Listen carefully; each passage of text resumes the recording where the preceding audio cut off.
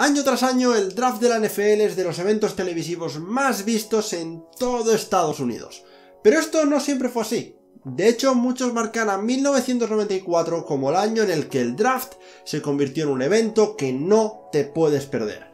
Y es todo gracias a un altercado entre el entonces general manager de los Colts, Bill Tobin, y el analista Mel Kiper. Pero antes de hablar de por qué este encontronazo causó furor y causó que el draft sea un evento que no te puedes perder, tenemos que responder a una pregunta.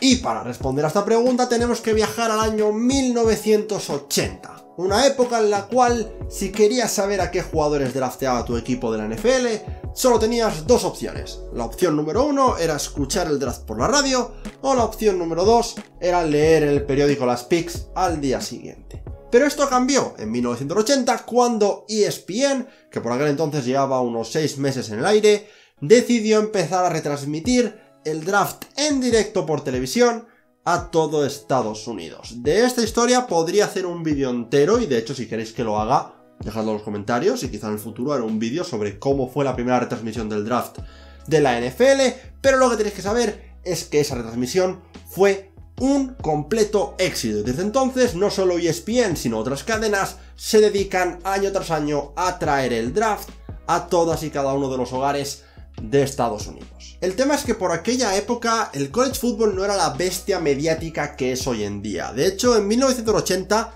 de media solamente se retransmitían un par de partidos nacionalmente cada semana, por lo que un gran número de los jugadores drafteados eran desconocidos para el aficionado medio.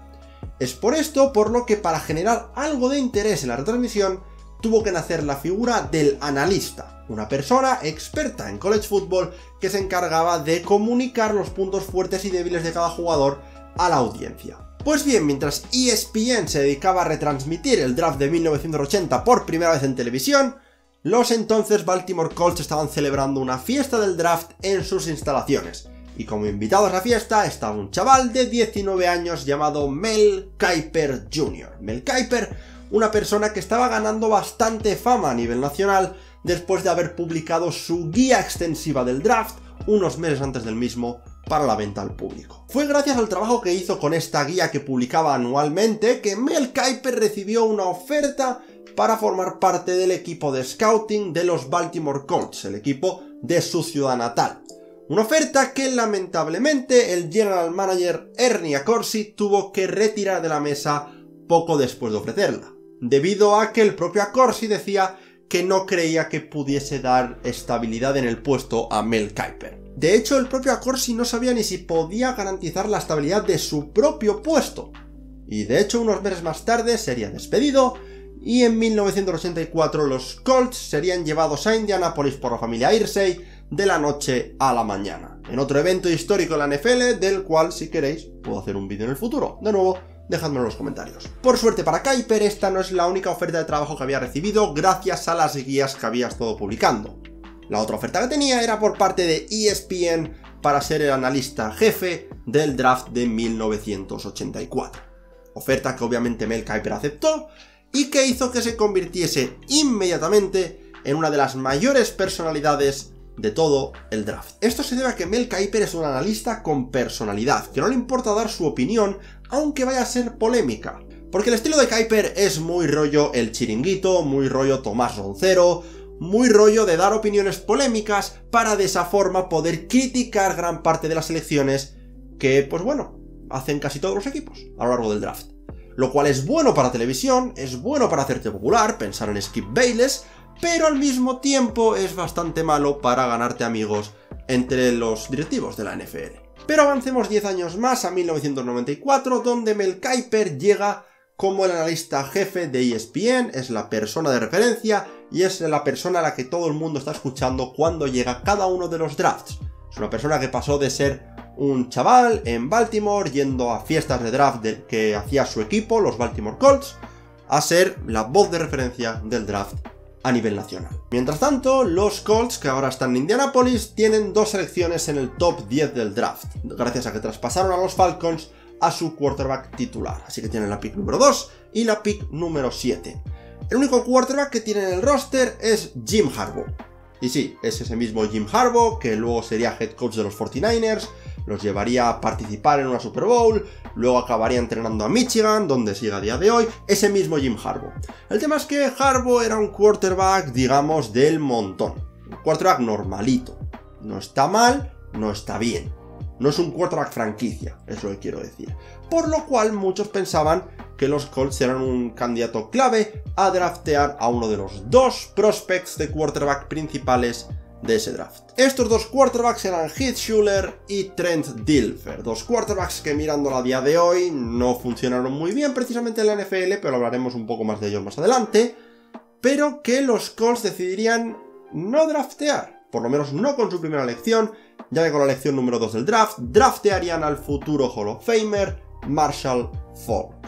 Esto es una pick que, la verdad, generó bastante shock entre los fans medios, porque, de nuevo, los Colts son un equipo sin quarterback y tienen dos quarterbacks que se veían como posibles talentos generacionales ahí mismo. Y este es un draft en el que los Colts simplemente no podían pasar sin draftear un quarterback o eso es lo que decían por lo menos todos los analistas, incluido el propio Mel Kiper. Aún así, este shock por el drafteo de Marshall Falk duró poco, porque pocos minutos después, los Colts harían un traspaso para subir del puesto número 7 al puesto número 5. Y esto se dio después de que uno de estos dos quarterbacks, así principales, en este caso Heath Schuller, fuese drafteado por los Washington Redskins. Así que todo parecía encajar.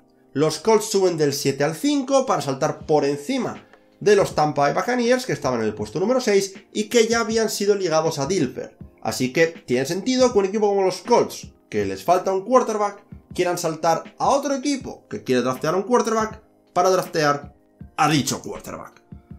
Es por eso por lo que el shock del que hablé antes se vuelve aún mayor cuando los Colts no draftean a Dilfer, sino que draftean al linebacker Trev Alberts.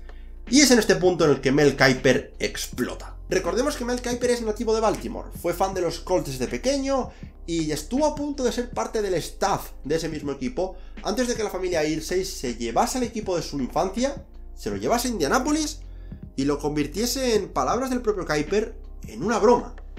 Es por eso que este odio que estaba guardando Mel Kiper hacia los Irsay y hacia la ciudad de Indianapolis sale de su cuerpo cuando ve cómo los Colts pues pierden la oportunidad de volver a la relevancia en sus ojos.